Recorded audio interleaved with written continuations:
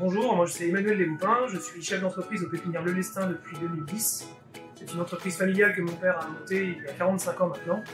Et je m'occupe de toute la partie administrative, gestion et ressources humaines. Bonjour, Gaëtan Leluel, je travaille au Pépinière Le Lestin depuis 2012. Euh, je suis responsable d'exploitation et je choisis toute la collection de, du végétal au sein de la pépinière. Pépinière Le Lestin, nous faisons une gamme très très large, euh, environ 1000, 1200 variétés. On fait à peu près 20-25 000 plantes. Nous euh, élargissons la gamme tous les ans. Euh, nous travaillons beaucoup sur les petits fruits également, qui est une forte demande. Euh... Euh, se tient beaucoup au courant des nouveautés végétales qui sont sorties notamment dans les, la presse spécialisée. Et puis beaucoup de bouche à oreille, beaucoup de demandes de nos clients parce qu'en plus d'être producteurs, Gaëtan et son équipier euh, sont aussi des bons vendeurs. Donc en fait, ils ont la possibilité d'avoir cette euh, proximité avec le client et de percevoir les évolutions du marché en fonction des demandes qui leur sont faites. Avec le changement climatique, euh, il y aura certainement une sélection des, des variétés. Déjà, on le fait à notre niveau. il y aura aussi une production raisonnée, donc beaucoup moins de phyto on essaye déjà de mettre euh, au point.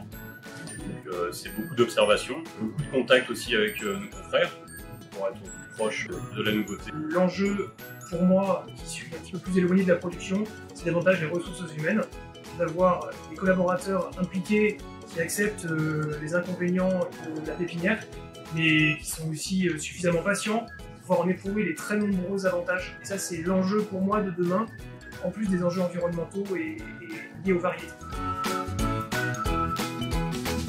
On a une très forte demande sur tous les végétaux, il n'y a pas de règle absolue. le confinement, le Covid a fait que les gens se sont mis à jardiner beaucoup plus, euh, notamment pour tout ce qui est plantes nourricières, les petits fruits, les pommiers, les, les abricotiers, tout, ce qui est possible. Et puis bah, le phénomène aussi que les gens veulent des plantes très grandes pour préserver leur intimité. Ça fait 15 ans qu'on participe à Rennes Côté Jardin. Mon père, qui est donc le créateur de l'entreprise, avait été impliqué dès le début.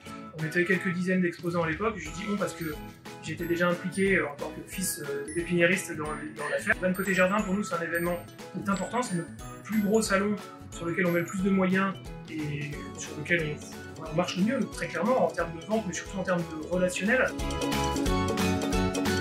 Moi, pour la 15e édition, je souhaite en tout cas euh, une, un salon qui soit, qui soit joyeux, un salon qui soit pas bridé par les contraintes sanitaires euh, trop, mais qu'il puisse y avoir beaucoup de gens.